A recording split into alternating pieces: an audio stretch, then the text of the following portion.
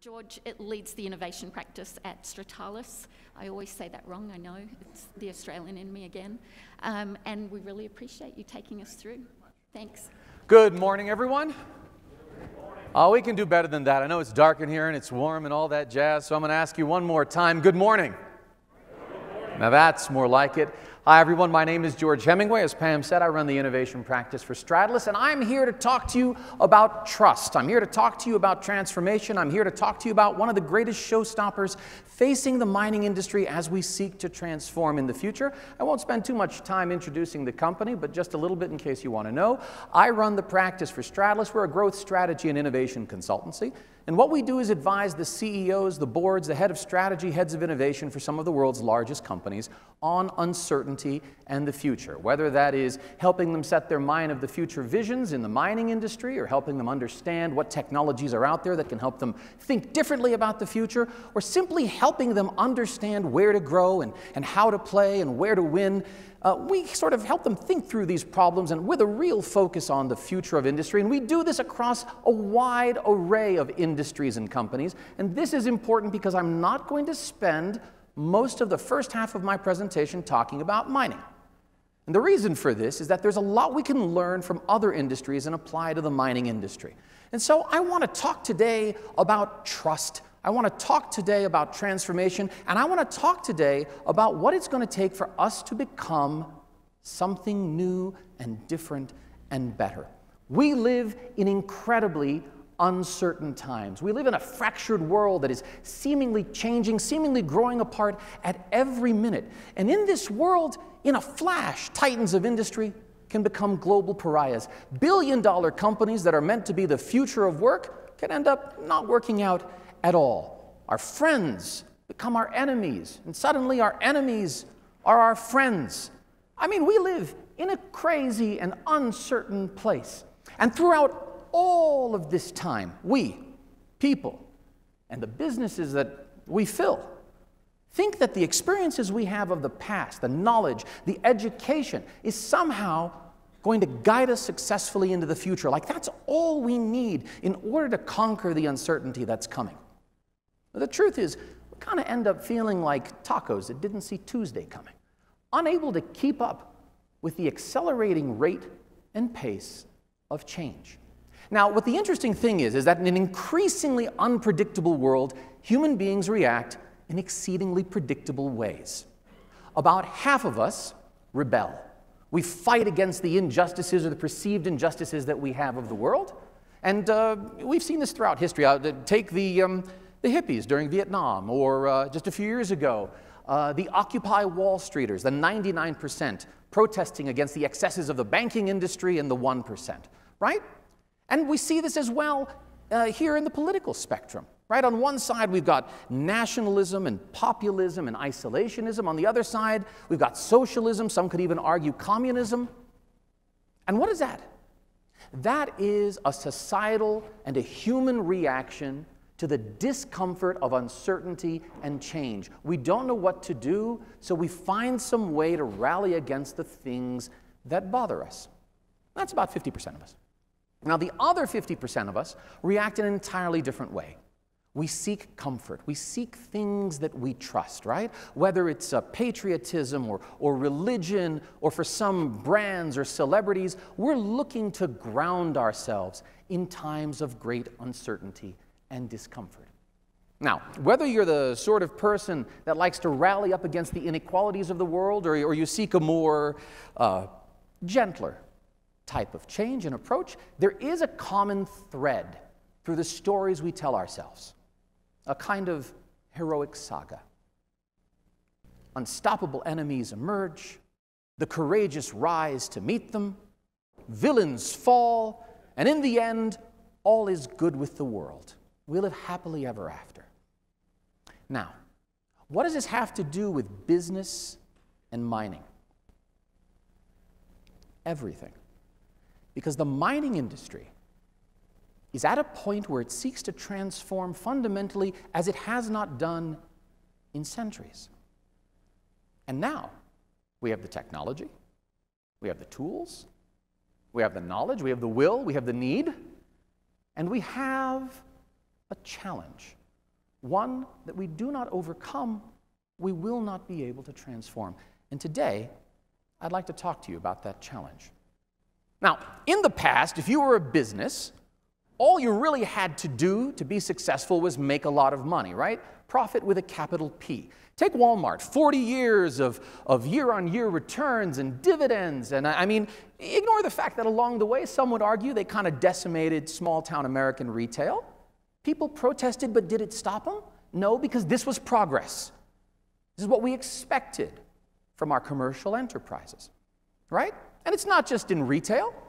Take a look at Hollywood, right? Miramax, lots of shiny gold statues, made plenty of money.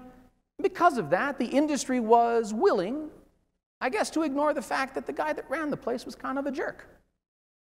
Because that's not what we expected. We didn't expect Harvey Weinstein to be a great guy.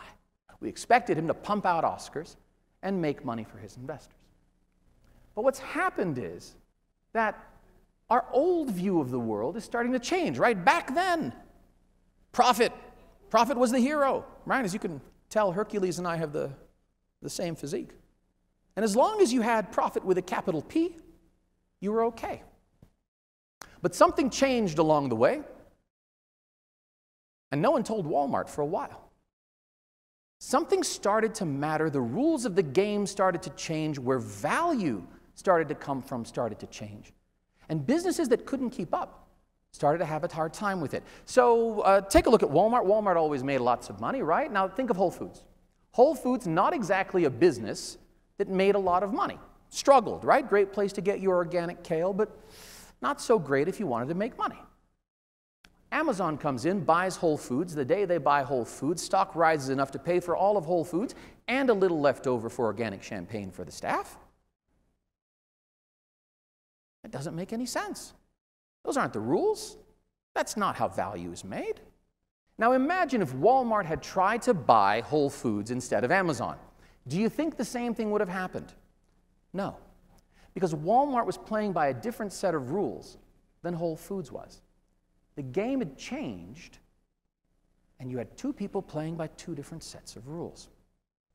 Now, the interesting thing is this when we look at industries that are ripe for disruption at Stratus, we tend to notice four things that sort of are thread throughout them. I'm not going to read them all to you, but I'd like you to pay attention to just one. Industries where customers want to see existing companies change. And when I say customers, I, I also mean consumers, I mean governments, I mean society. And that's critical for the natural resources industry because it's going to help us understand how value is changing in the industry as well. We've seen this before, right? If, if people don't like you, they're happy to leave you. Um, Blockbuster made about 40% of its profit from late fees, about 18% of its revenue. Nobody likes late fees. There's someone in here that likes late fees. I want to have a conversation with you because you're like a real divergent thinker. So when Netflix came along and offered an opportunity to get away from that, what did we do? We bailed. Bye bye Blockbuster. And it's not just retail, it's always see the same thing in banking as well. So, banking, for example, a little closer to mining. Why? Well, lots of regulations, lots of rules, lots of compliance, lots of processes. Last few years haven't been particularly kind. I just came from a bank this past weekend talking to the board about the increasing level of costs in a world in which other people are showing up without them. And in this world, what do you do? Well, you push fees. Read your banking statement, you'll see the same thing I see. They're making lots of money off of me in return for me giving them my money to make lots of money off of. And that gives you a lot of very profitable but unhappy customers, which shouldn't surprise you at all that if you look at the last five years of complaints in the banking industry, they're on the up, they're showing no sign of decline. It also shouldn't surprise you that most Americans would rate a technology company higher on those drivers of choice and loyalty than they rate their primary bank. Which then also shouldn't surprise you that if you asked the average American, would they be willing to consider a bank that came from a technology company? Most of them would say, well, I mean, look, I'm probably going to stick with Citibank for now, but that idea isn't crazy to me. But technology companies can't be banks, right? Because there are regulations stopping them, right? Just like, just like the mining industry has.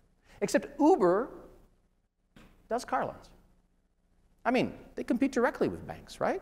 Now, they don't do it to everybody, they do it to their drivers, but that's part of banking. Or how about the 800 pound gorilla in any room? Look at Amazon. If you took all of the products and services that Amazon has and you slapped them up against Chase's website, what would you find? You'd find that Amazon kind of looks like a bank.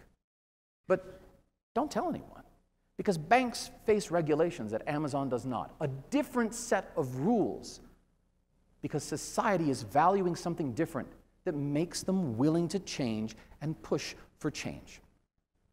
So, you know, in mining, you can't mine it, you must grow it, right? That's what they say if you can't grow it, you must mine it, right? So these are like these two fundamental industries that we can't replace. Never in a hundred years would it occur to me to say, hey, honey, do you mind getting a couple of petri dishes? I'm going to slap them on a grill. But that's what's going on right now. There are people that are trying to grow meat in the lab. And there are people that are trying to grow tuna in a lab. Now, why would anyone want lab grown tuna? I mean, it's not going to taste better than tuna from the sea, is it? It's going to be more tuna y. Is it going to be cheaper than tuna from the sea? Probably not. What could possibly compel us? What is that underlying societal change that would make us want to do that? Now, we know we can grow meat in the lab, sort of. We know we can grow tuna in the lab eventually. We know we can grow diamonds in the lab. Let's say one day we can do nickel in the lab or gold in the lab. Would people want to buy it? Is there something that, even if it's more expensive and not as good, that would drive society to say, lab grown nickel sounds good to me? And if so, what would that mean for the mining industry? Here's an interesting thought. You know, if you consider where the industry is going in terms of technology transformation, right?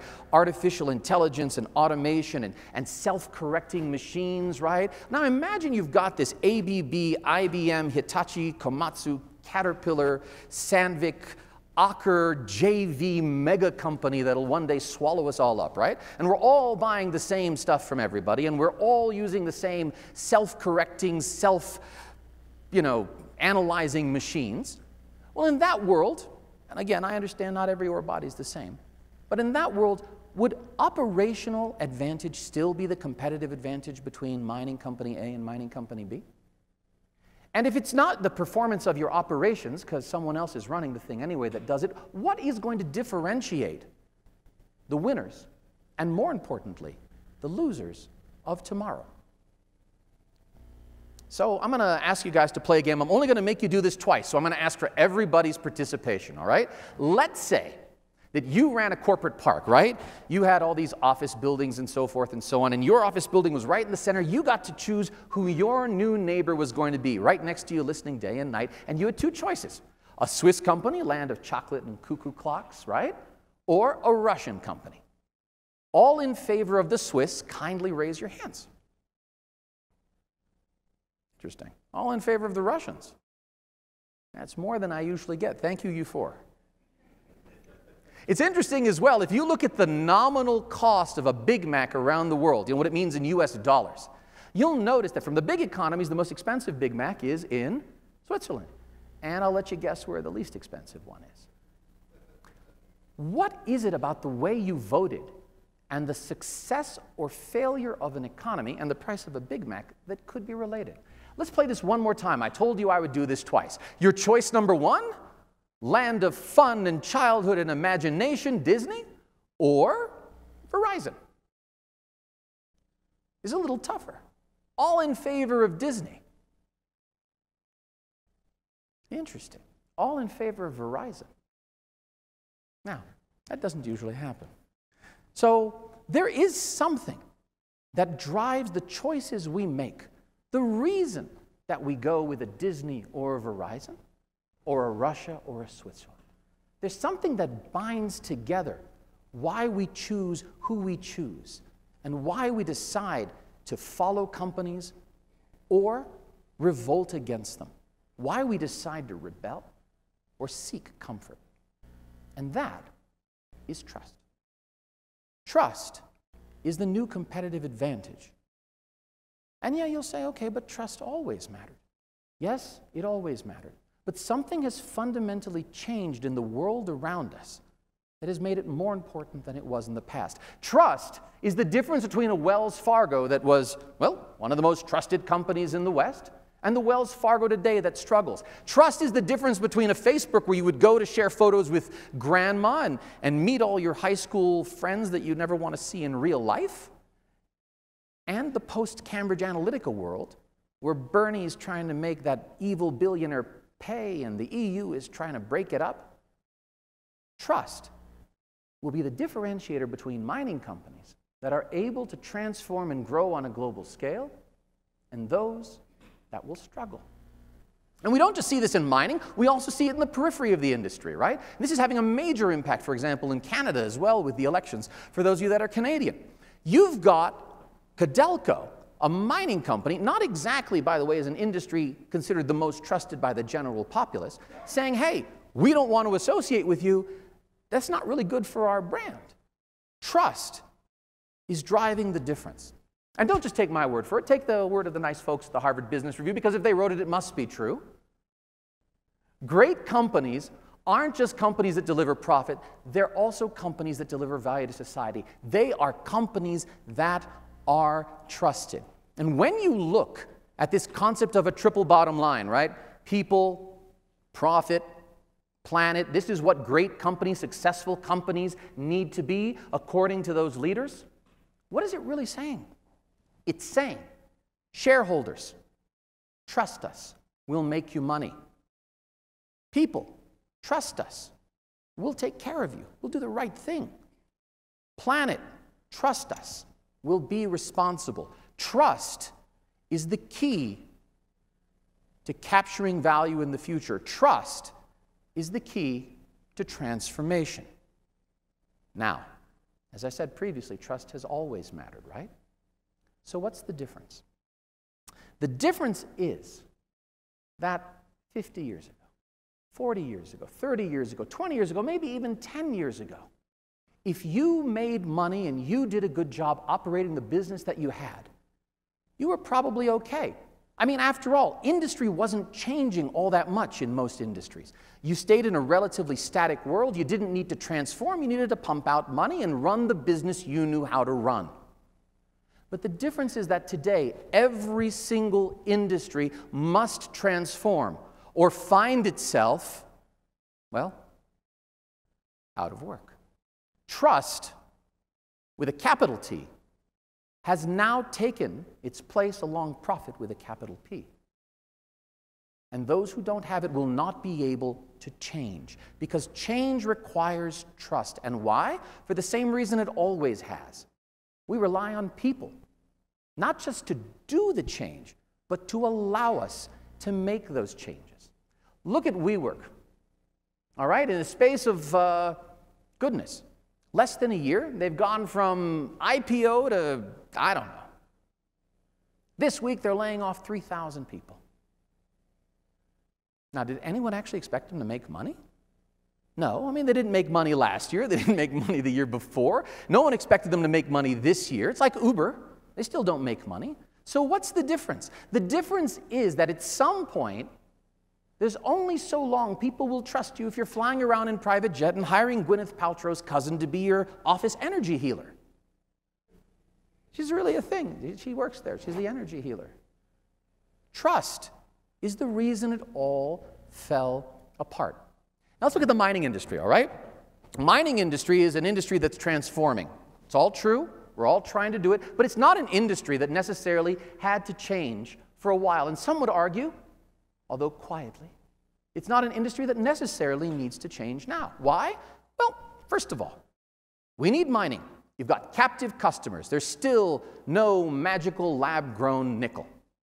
Governments and society are dependent on the money that mining makes, and markets are cyclical. What goes down, we all know, must come up. And because of that, what do you got? You've got built in license to operate, you've got demand, you've got capital. Why change? So, because of that, while the rest of the world gets smaller, this little guy over here can invade a country all by itself mining industry gets larger.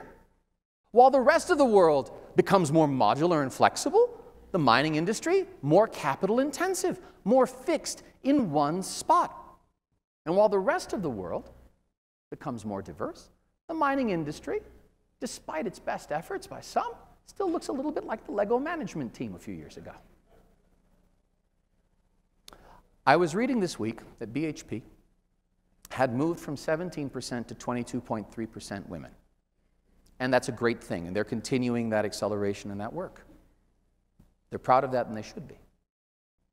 But 22% women in any other industry would be viewed as, well, not so great. Haven't really needed to change.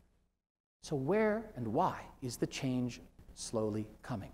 Look at the world we're in. We live, as I said, in a world that is more and more uncertain and fractured. We live in a world where people feel there is a widening gap between the rich and the poor, where there's an inequality. You saw it years ago, Occupy Wall Street, Tahrir Square in Egypt. You're seeing it now in Hong Kong.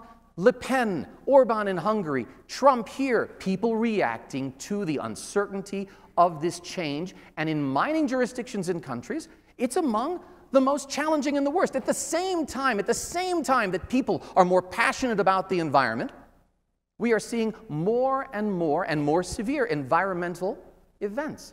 And right or wrong, guess who they blame? They're not blaming Disney. In a world that is more and more connected, companies have to react, as do countries and regulators, which is why you see countries trying to ban combustion engines. Someday sometimes means they just don't know how to do it yet. It's why you see the CEO of Shell saying, My next car will be electric. You're seeing the fundamental change because value is changing and the world is pushing us. We have no choice. Even tightly controlled economies and societies like China have no choice. They absolutely must react because value has changed, the rules have changed, and those that don't have trust aren't changing along with them. And that's why you see, for example, in New York City, regulators are more than happy to, to go along with this sort of thing. They sued right, the energy companies not for causing climate change, because that would just fall apart, but for not accounting for it properly in their financial statements, fraud. Because fraud, you know, you can prosecute. See the same thing in Canada, for example. Imagine 40 years ago someone saying, I don't know if we'll get that mining permit because of the caribou. And yet we had a genuine conversation with a Canadian mining company about whether or not they would get the permits because of caribou. They're really concerned, genuinely, about the whole project. The world has changed, and we need to change with it. There are 118 elements on the periodic table. 75% of them, or 75 of them, are in an iPhone. So you would think Apple would be your greatest ally. Nothing could be further than the truth. Apple is trying to draw a green line between themselves and you. That's why they have machines that are recycling iPhones so they can say, we, we're, we're not, you know, doing this with mining. No, no, no. Your lovely little iPhone, that came from recycling, right? No mining involved in that. They're trying to make you the villain in their story. I'm going to let you guess who the hero is. Did I say there were 118 elements? I lied. There are apparently 119 because Apple invented a whole new aluminum in order to make their iPhones. Didn't know that? Well, they'll convince others that it's true. They're the hero of this story. And the only question is, what role will you play in it? And the mining industry isn't making it easy. So, for the last year, we've been working with mining companies on technology around tailings, on technology around energy. And it's great. It is a concerted and real effort but is it enough for BHP or Vale or Rio or Freeport to do it? Is that going to move the needle enough to change the world's perception? It's going to take collaboration. It's going to take more than just the leaders because we live in a world where artificial intelligence and automation and new technologies are showing up. And there is a fear, real or imagined. That somehow these things are going to replace all of us, yes, even the consultants. That somehow we won't have a role. And in that world, it is not whether technology and transformation is feasible that is the greatest uncertainty. It is not whether our ability to implement it is the greatest uncertainty. The greatest uncertainty facing the mining industry is one of acceptance, it is one of trust. Because the world is more than happy to blame the pharmaceutical companies, the financial services companies, the mining companies, there is a wave of change. washing over the world. And when there is a wave of change, there are only two reactions you can have that give you a chance of surviving and flourishing. You can be like the oak, you can stand strong against that wave, and that works for some. I'll talk about who it works for and who it doesn't, but the vast majority of us have to take the other tack. We have to ride the wave, we have to become part of the change. Now, let's say you're like the oak, okay? Where does this work for? This works for the number one player in the industry economies of scale, economies of scope. It can snap up everybody else that's suffering, probably protected by government or governments or regulations. These companies are the last person standing, and they can survive this wave of change. So, Think of buggy whips. Uh, these, are, these are the things that you'd use when you have a horse and carriage, you whip the, whip the horse. These, ladies and gentlemen, are some very, very high quality buggy whips made by one of the last remaining buggy whip companies. And if you'd like one, I know a guy who knows a guy who knows a guy. But let's imagine you were a buggy whip company back in 1894. This is Fifth Avenue in New York City, Easter Day, 1894. Can anyone find the car? Hands of anyone can find the car. It's kind of like Where's Waldo? All right, it's right there. Less than 20 years later, Fifth Avenue, Easter Day. Can anyone find the horse? And if that was a fast rate of change, wait till you see what's coming for us today. So if you're not the last remaining buggy whip company, who are you? You're someone that's going to ride that wave. And the industry and the leaders of that industry know it to be true. That is why BHP is talking about moving from social license to social value, putting that T with a capital T right next to the capital P. That is why Anglo is so passionate, Mark is so passionate about the development partner framework. Trust. That is why Vale is working on PowerShift to reduce GHGs and not just impact themselves, but upstream and downstream, the industries and the world around us. Because trust is going to be key to transformation. Companies don't do this because they like whales. It's not why we save the whales. They do it because society wants us to do good as permission for us to make money. That's the world we live in today. So I called Mark up. I said, Mark, I'm giving a, a talk on, on trust and transformation. Is this stuff important? He said, It's absolutely right. Anglo's ability to transform is reliant on being able to make a contract, a social contract based on trust with the communities around it. Without that, transformation cannot happen. And more importantly, it cannot happen with only one mining company all of us have to come together because it is not any one single mining company that is on the receiving end. It is the entire industry. Only as an industry that collaborates, that works together to build trust with a capital T and convinces society that that is what we are doing, will we have the permission to transform for tomorrow. Thank you very much.